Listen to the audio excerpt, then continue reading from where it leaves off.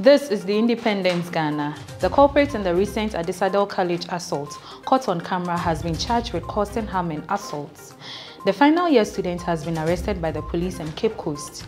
He's expected to appear before a court of law on Friday, 28 July 2023.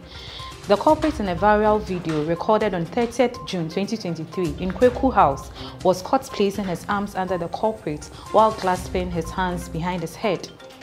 He then slammed the culprit's head to a metallic bed, causing part of his head to swell and bleed.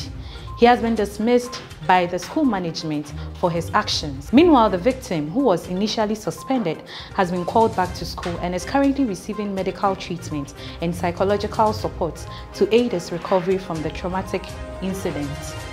The incident has sparked widespread concern, leading the school to take prompt action by suspending all students involved pending further investigations.